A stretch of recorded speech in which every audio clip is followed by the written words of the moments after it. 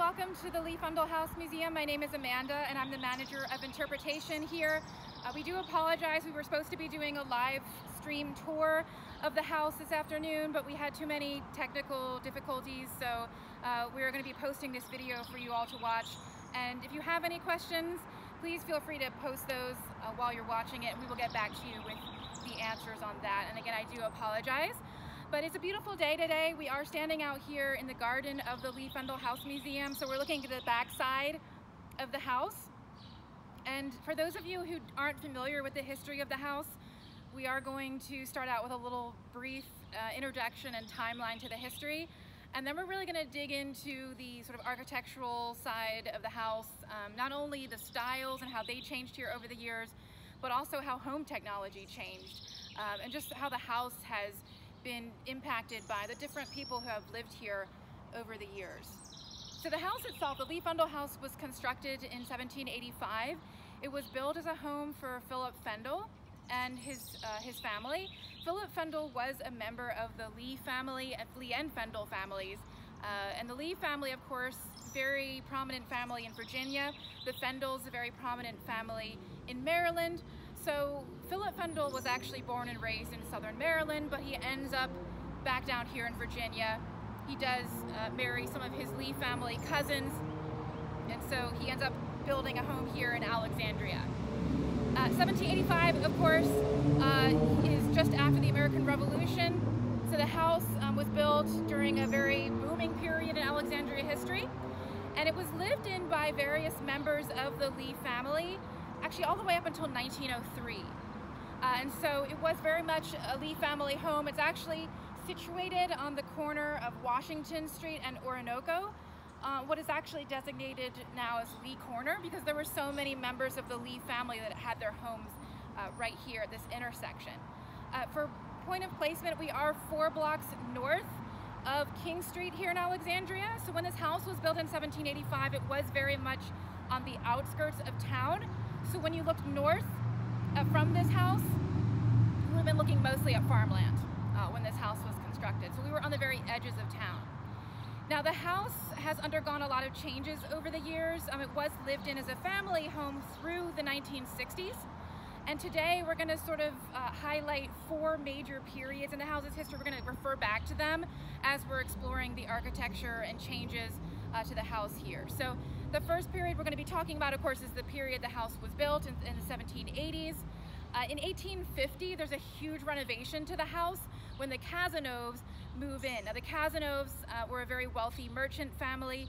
Here in Alexandria, they marry into the Lee family. So again, they're still it's still in Lee family hands.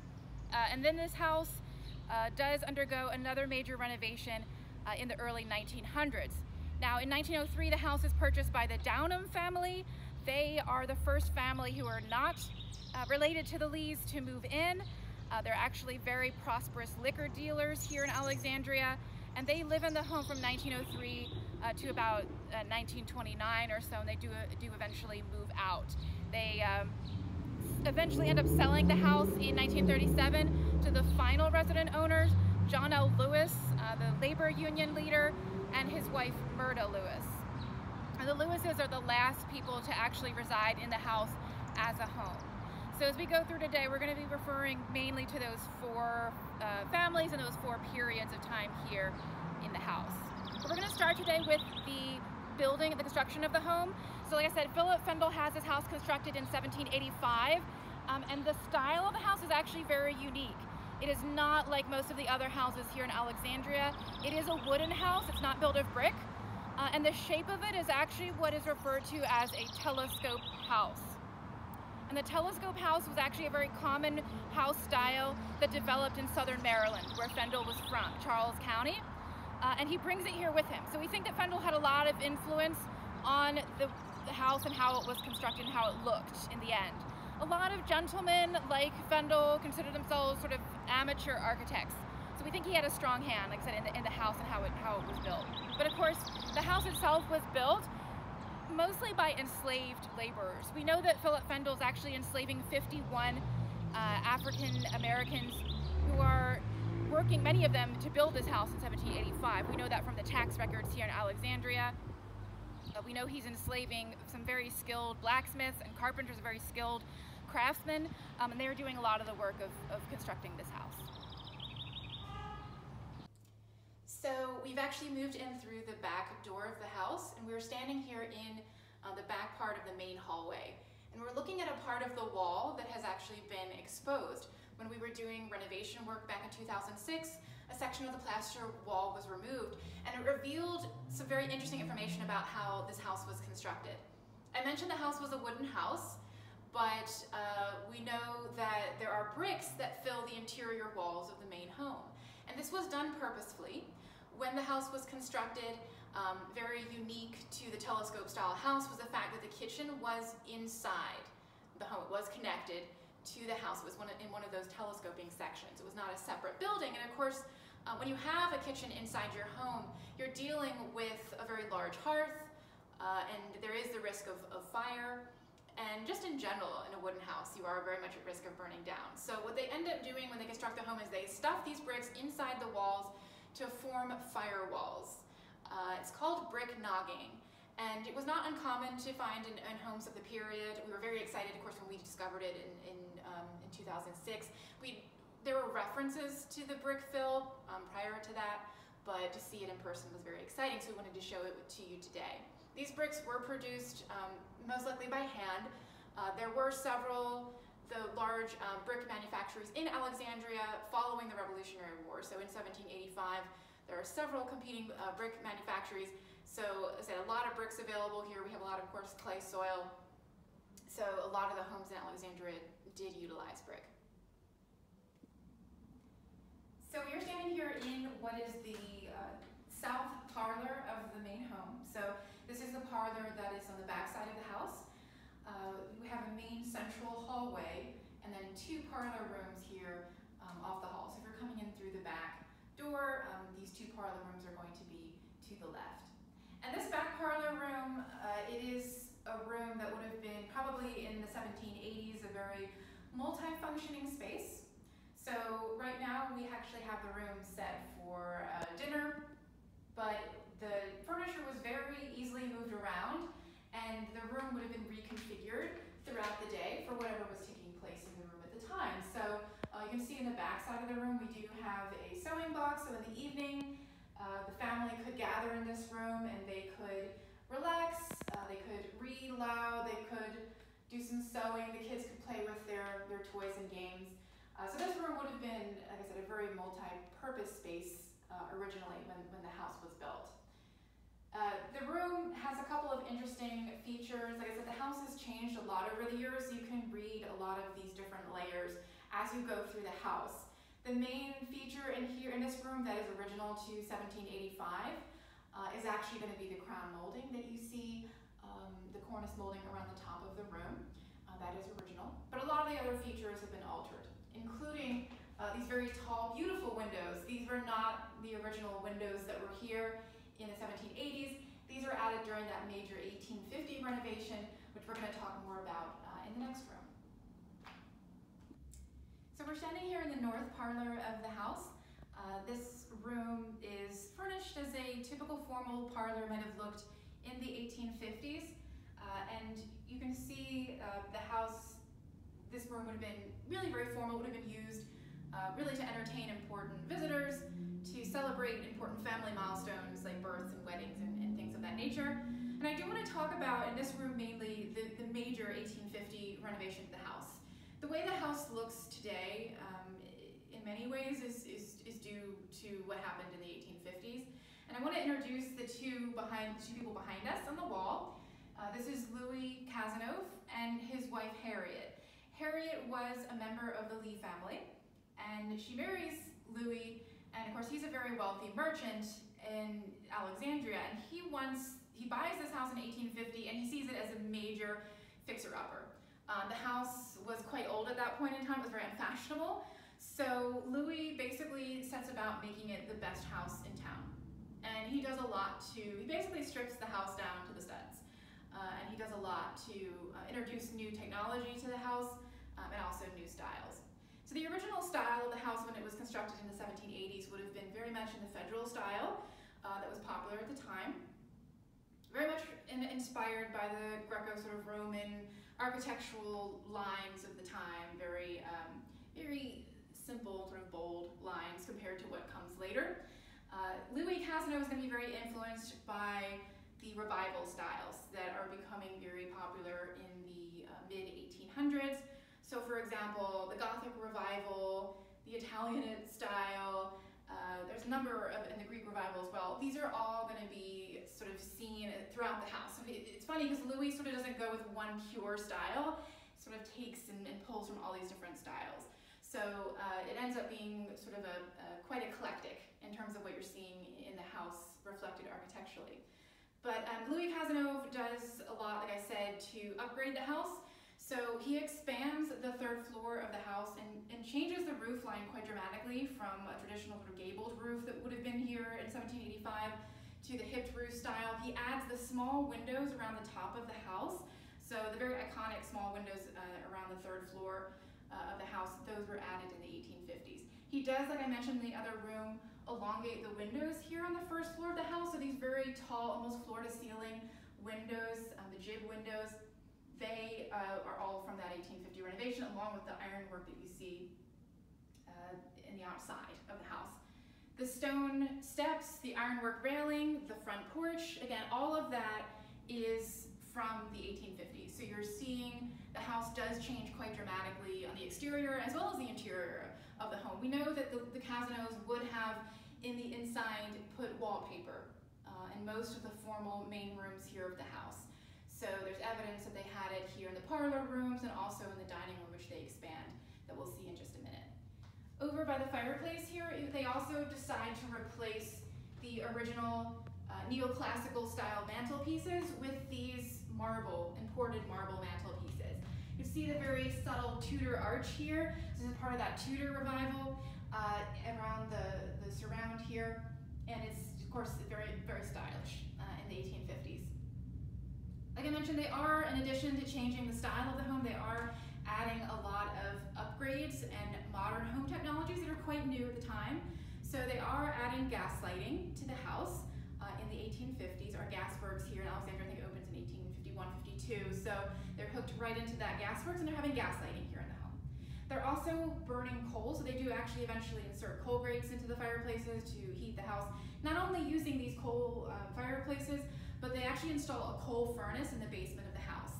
And the very popular furnaces of the time typically worked that they would there would be air vents in the floor as well, air ducts, and the hot air would rise from the basement to the rooms above. So we do believe, um, they do reference a furnace here, we do believe um, that that was um, used to heat the house here after the 1850s. They're also installing a system of call bells in the house. So you might notice as we go through the home today, each of the rooms here uh, on the main, uh, in the main part of the house has one of these. These are porcelain knobs or levers, and they actually would have been wired underneath, behind the wall, under the floorboards, connected to a series of bells, corresponding bells in the kitchen. So these were used to summon the enslaved servants to various rooms in the house. And we're gonna be seeing those corresponding bells when we head into the kitchen a little bit later. So we're actually standing here in a room that is, we're going to refer to as the first telescoping section of the house.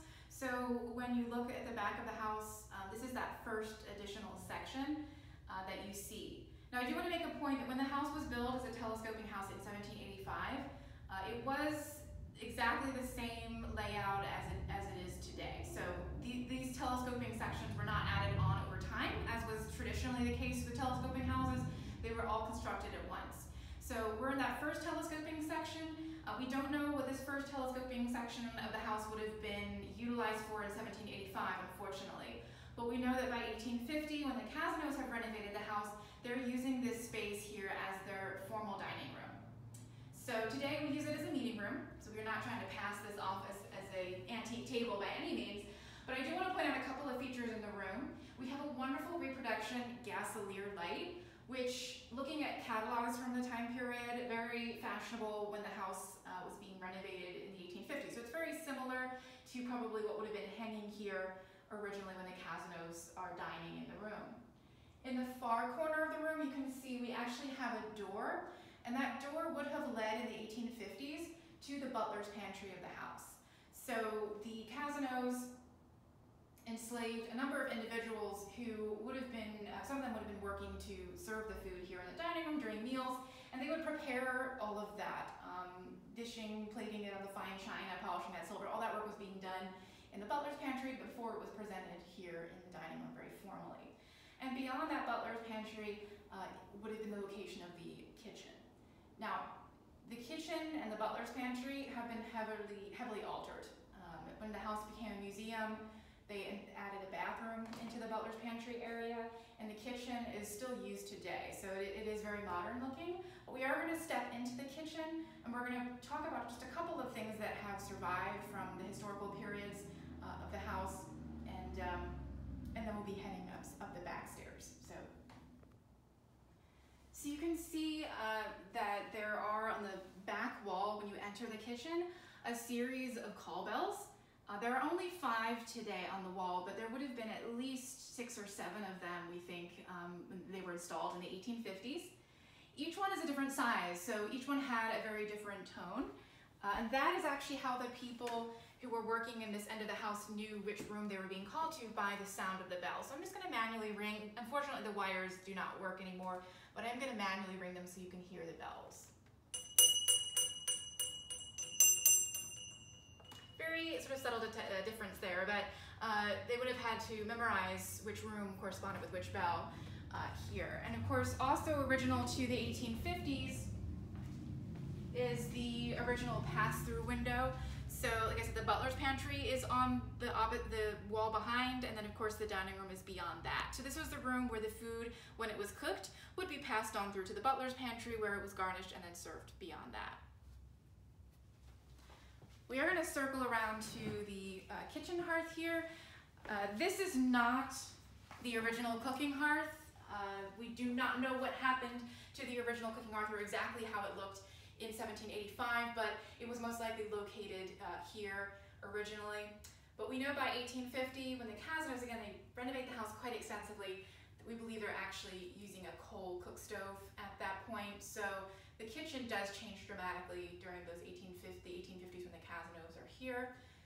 This current uh, hearth was actually installed in the house in around 1940 when the last family, um, the Lewises that I referred to earlier in the introduction, they move in. And of course, Myrta Lewis, uh, the woman of the house, she was very interested in Virginia history. She loved collecting antique furniture. And she was very interested in the course and very much into the colonial revival style, which was very much at its height at that time. So she puts in this colonial revival cooking hearth. So it is meant to look old, but it is not um, an original cooking hearth.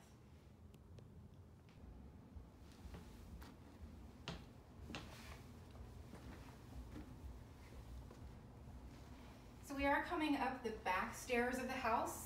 These are located off of the kitchen that we were just in. They're very narrow, they're very steep. These back stairs were utilized by the enslaved and later free servants that would have been working in the house um, throughout its history. And uh, there are, when you get up to the top of the stairs here, three small rooms we do we do think that they were um, configured, the small rooms sort of divided into these small rooms in the 1850s. So we think originally in 1785 it was more of an open sleeping area, but that's just sort of conjecture. But we know that by the 1850s or perhaps the 1870s, there are three rooms up here. And uh, we can take a peek into this one room. Do pardon the mess. We are in the middle of uh, sort of renovations at the moment, but it gives you um, a glimpse of one of the rooms. They're all pretty much the same size. Um, so we are now um, in the main, back in the main part of the house. We are above the two parlor rooms. So there are two very spacious bedrooms up here on the second level of the home. And you can see this bedroom here is furnished as it might have looked in the post-Civil War period. We have a wonderful bedroom suite of furniture that was actually produced in Philadelphia shortly after the Civil War. Uh, and this would have been utilized most likely as the master bedroom of the house uh, for much of the home's history. It is uh, on the south uh, side, so this is through the back side of the home, if you're looking at it from very uh, simple walls. We get a lot of questions about wall colors uh, on tour, and the answer is that we don't have a really great idea of the colors of the walls originally. So in the 1780s, um, we would like to do further tests, but the initial test that we had done on paint colors was only looking for colors um, dating back to the 1850s time period. So um, we, we, need to, there's more research that needs to be done there. Uh, but we do know, like I said, in the 1850s, the downstairs formal rooms would have been wallpapered. Upstairs, though, probably a little bit simpler than what was downstairs. Uh, and of course, in the rooms that we were just looking at, where um, the enslaved and later free servants would have resided, very plain white, almost kind of like a, a whitewash, some calcimine paint that they would have had on the walls in there, so very simple. But this, um, this room, like I said, it's you see in the fireplaces reflected again. Um, so these are again put in in the 1850s that Tudor arch that you saw in the marble uh, downstairs in the parlors. So they're repeating that up here in the bedrooms. So again, a lot of what you're seeing uh, is from that 1850 period. I do want to point out the door behind me. A lot of people ask about that door. Um, we do believe that this door would have led to a pass-through that connected to the bedroom on the other side of the fireplace.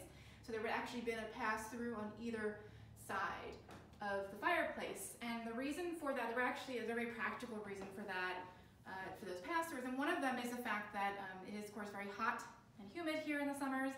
And it would have been very important to have the windows open, of course, and get those cross breezes going from one side of the house, house to the other.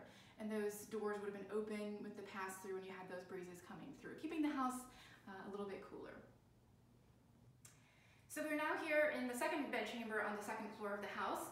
And uh, I do want to point out that in the 20th century, the pass-through here was converted into a closet. So uh, you can actually see some of the features that they added in the 20th century here, um, including these wonderful uh, pull-outs for hangers. So they were hanging clothing at that period. Hangers are a, a 20th century invention. Uh, and then you can also see the wonderful floral wallpaper, which dates from, we think probably um, the 1930s or 40s. Um, but um, but yeah, this wallpaper possibly was in the whole room here. We know that in 1937, when the Lewis, uh, James, uh, John and Myrta Lewis move in, uh, this was actually Myrta Lewis's bedroom. And uh, we know that there was, we found evidence that there was floral wallpaper in the closet here and also in her dressing room, so possibly the whole, the whole room. Uh, but yeah, this room right now, when you come to visit it today, we do have a lot of furniture in it that dates to the turn of the century period.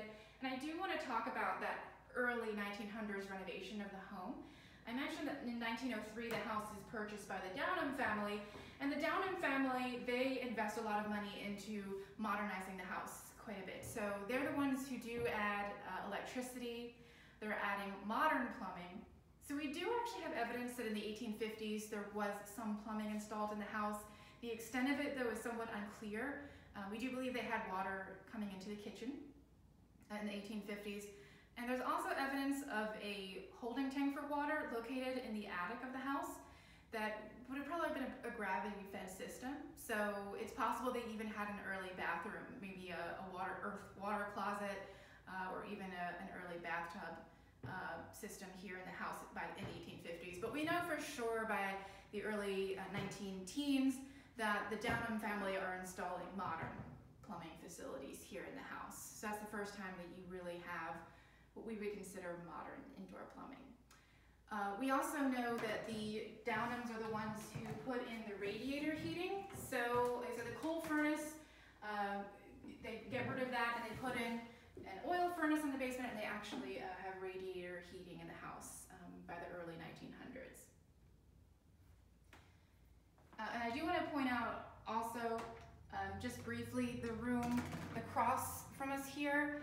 Uh, this would not originally have been here, so it actually would have been a big hallway behind me, just uh, like downstairs. But uh, sometime after the Civil War, you had a lot of Lee family relatives who were staying here and living here in the house, they create another small bedroom here off of this bedroom. So there are actually three um, bedrooms at that point here in the main section of the house.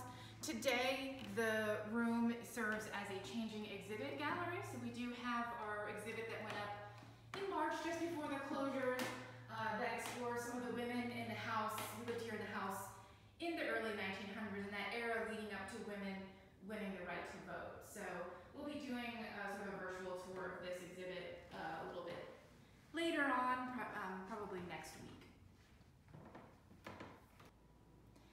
So we know at the, um, the top of the hallway here on the second floor, uh, this bathroom was installed. It is one of the uh, bathrooms that was installed in the 20th century. The sink and tub fixtures uh, and the toilet, we know for sure the toilet is, is from around 1930. Um, and so uh, this would have been the main bathroom here on the second floor of the house. It would have been uh, you serving the two main bed chambers and the third smaller bed chamber here.